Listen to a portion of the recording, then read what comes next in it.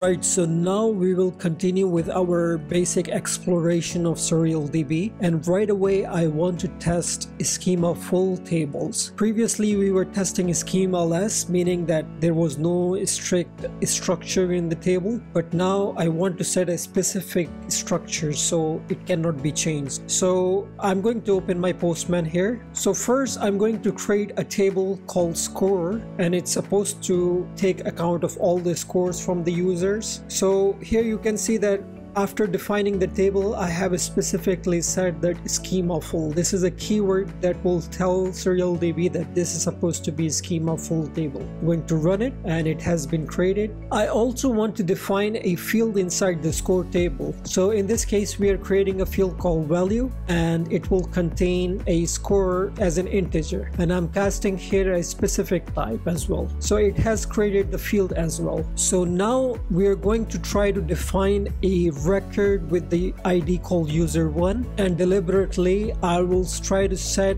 a value as test rather than as an integer. So in this case it's a string. So let me see what happens. Huh, it created but as you can see the value is set to zero rather than it giving me an error. So this is a behavior that I can see here. What if I try to put let's say an array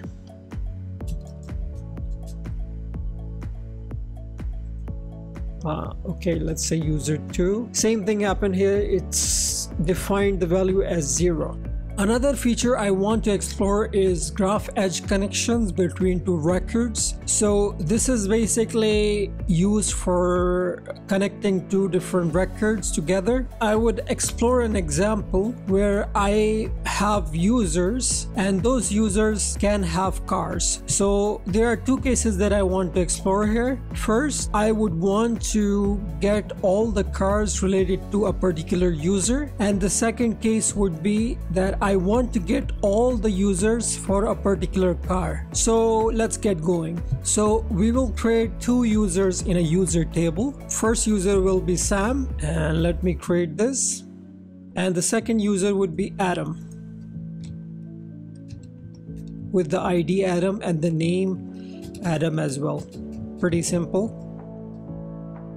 Now I will create two cars as well. So one will be Audi with the ID Audi and the other one would be Toyota.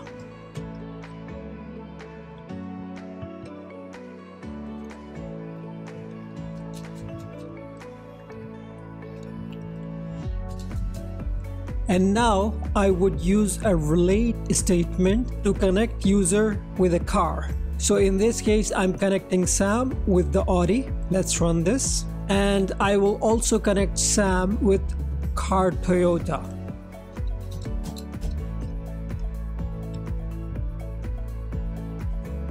And I will connect Adam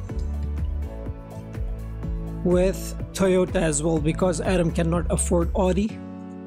So just to explain this statement a little bit more, we are connecting Adam, which is a record in a user table, to a record Toyota, which is under the cars table. In between, we have a connection table. So I'll show you how it looks. Usually we don't query directly the connection table, but I will just show you how it looks. So I will type select all from owns and as you can see it has connections for each of the record that we connected together. So now we want to fetch all cars by a user. In a traditional SQL database we would do joins here and there would be some sort of complicated queries. In this SurrealDB it's pretty easy. If I make a request you can see that it has grabbed the user Sam and it has also grabbed the connected uh, cars as well. So if I say name, so it will grab the name as well here. So you're selecting uh, an ID and the name from the user's table, specifically for the record SAM. And then we're using these notations here, arrow notation, to call on the connecting table. And then from there, we are grabbing the car table and specifically the name of car record. So here, uh, in order to grab a particular field, we are using a period symbol. And then we are naming this whole thing as a user car. Should be user cars, but okay. And if I change the ID to Adam, let's say, it would only grab me the Toyota. So see how simple this is compared to like traditional SQL DB, it can be very confusing. And now if I want to do a reverse, which is get all the users connected to a particular car.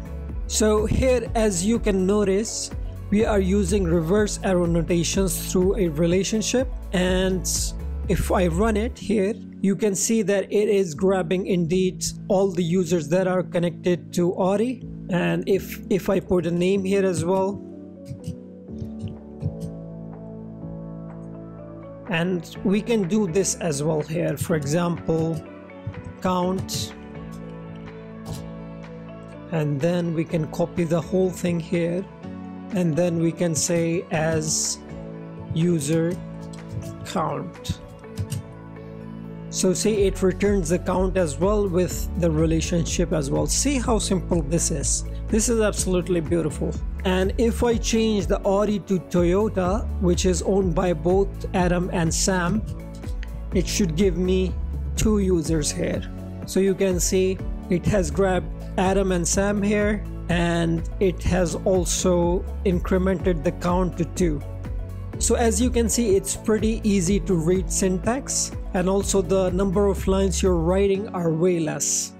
Alright, so now I want to explore the REST section of the website. Apparently, SurrealDB provides REST APIs by default, so we will test them and we'll see how that works. So first of all, I want to get all the records from my specific table. What I have to do is run this. So I will open my Postman. We have to replace SQL with key slash table so user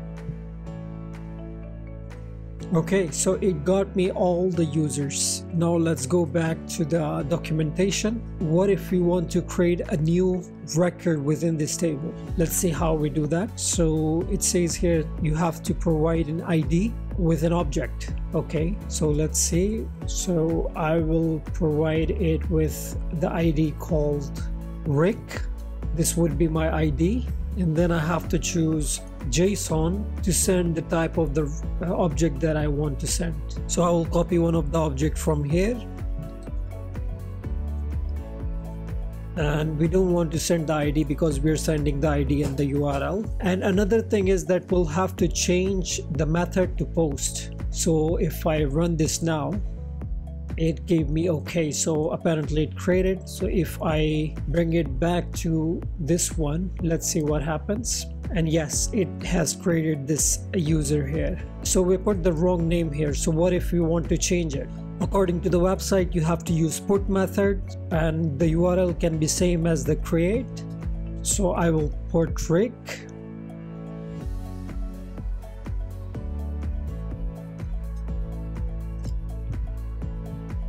okay let's run it. Let's fetch them again to see whether it changed. And yes for sure it did. Now what if you want to delete it? You guessed it right. You have to provide an id with a delete method. It, it doesn't give me the result back but if I run it back again to fetch all the users it should give me just two users here so these are the common REST APIs they provide. So uh, they don't provide APIs to get the relationships with the table. For example, in the case of user, I might want to get some other details connected to this table, but I'm not able to do that. But you can always use SQL REST URL to run your own query and grab the data. SurrealQL over WebSocket. So this is something which will allow real-time updates and bidirectional communication and modification of the data. Uh, apparently it's completed, but when I checked the documentation section the documentation has not been yet published. So I will have to wait and see how to use this and how it works but this sounds very promising. So there are many features as I said and honestly it will be a bit overwhelming to cover them all here. But what I want to do is go a bit deeper and see other features as well. And I will also wait for the documentations to drop as well. So guys if you like this video first of all thank you for watching. And also please subscribe because it helps me quite a lot. And thank you for watching